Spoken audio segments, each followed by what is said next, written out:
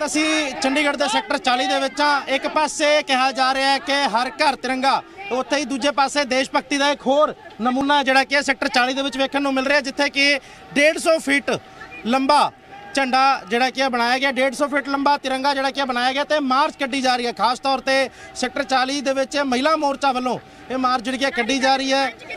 ਜੀ ਅ, ਮੈਡਮ ਅੱਜ ਜਿਹੜਾ ਹੈ ਤੁਸੀਂ ਤਿਰੰਗਾ ਬਣਾਇਆ ਹਰ ਘਰ ਤਿਰੰਗਾ ਤਾਂ ਇੱਕ ਮੁਹਿੰਮ ਹੈ ਹੀ ਇਹ ਇੱਕ ਹੋਰ ਹਰ ਘਰ ਤਿਰੰਗਾ ਦੇ ਤਹਿਤ ਤੁਸੀਂ ਹੋਰ ਨੇ ਇੱਕ ਨਵੀਂ ਮੁਹਿੰਮ ਕੱਢੀ ਹੈ ਇਸ ਦਾ ਖਾਸ ਤੌਰ ਤੇ ਮਕਸਦ ਕੀ ਹੈ इधर मकसद है कि हमारे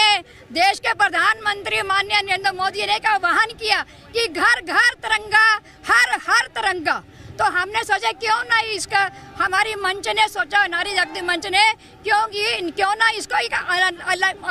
अनोखे ढंग से मनाया जाए सॉरी तो हमने सोचा कि इतना बड़ा झंडा बनाए छोटे छोटे झंडे तो सब तरफ है लेकिन हमने सोचा कि कितना बड़ा बनाए कि चंडीगढ़ में रिकॉर्ड चंडीगढ़ में रिकॉर्ड तो ਜੀ बनेगा ਬਿਲਕੁਲ ਦੇਖੋ ਝੰਡਾ ਲਾਣਾ ਬਹੁਤ ਵਧੀਆ ਗੱਲ ਹੈ ਲੇਕਿਨ 15 ਅਗਸਤ ਨੂੰ ਝੰਡਾ ਲਾਣ ਤੋਂ ਬਾਅਦ 16 ਅਗਸਤ ਨੂੰ ਉਹੀ ਤਿਰੰਗੇ ਪੈਰਾਂ ਚਾਹੁੰਦੇ ਆ ਉਸ ਚੀਜ਼ ਨੂੰ ਕਿਵੇਂ ਤੁਸੀਂ ਦੇਖੋਗੇ बिल्कुल, हाँ हमने हमने इसका हम, हमने इसका पूरा पूरा ध्यान रखा है कि ये हमारी देश की शान, बान और आन है। हमने इस दंगे का जो झंडा जो बनाया है, इसको हम अपने मन से भी ज्यादा इसको अपने हृदय से भी ज्यादा अपने बच्चों से भी ज्यादा इस तिरंगे झंडे की हम शान रखेंगे और इसको हम एक बहुत बढ़िया तरीके ਸਿਰਫ ਆਹੀ ਨਹੀਂ ਜਿਹੜੇ ਕਿ ਛੋਟੇ ਜਿਵੇਂ ਤਿਰੰਗੇ ਹੁੰਦੇ ਆ ਇਹ ਪਹਿਲਾਂ ਤਾਂ 15 ਨੂੰ ਤਾਂ ਪ- 15 ਤਰੀਕ ਨੂੰ ਬੱਚੇ ਲੈ ਕੇ ਘੁੰਮਦੇ ਆ ਘਰਾਂ 'ਚ ਲੱਗਦੇ ਆ ਉਸ ਤੋਂ ਬਾਅਦ 16 ਨੂੰ ਇਹਨਾਂ ਦੀ ਫਿਰ ਬੇਅਦਬੀ ਹੁੰਦੀ ਹੈ ਉਸ ਚੀਜ਼ ਦਾ ਕਿਵੇਂ ਖਿਆਲ ਰੱਖੋਗੇ ਉਸ ਨੂੰ ਵੀ ਸੰਭੋਗੇ देखो ऐसे है बिल्कुल हमारी नागरिक जागृति में एक मुहिम छेड़ेंगे इसके बाद पंद्रह अगस्त के बाद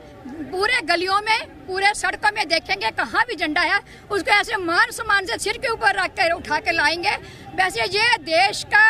और नागरिक का, हर नागरिक का कर्तव्य है कि इसको मान सम्मान दे, इसका सम्मान करें। लेकिन अगर कोई गलती से कहीं कोई गिर भी जा, गया हो तो उसको हम उठाकर अपने हृदय से लगाएँगे। Cameraman Tarinder Dalal, Anmol Singh, Gulati, Zee media.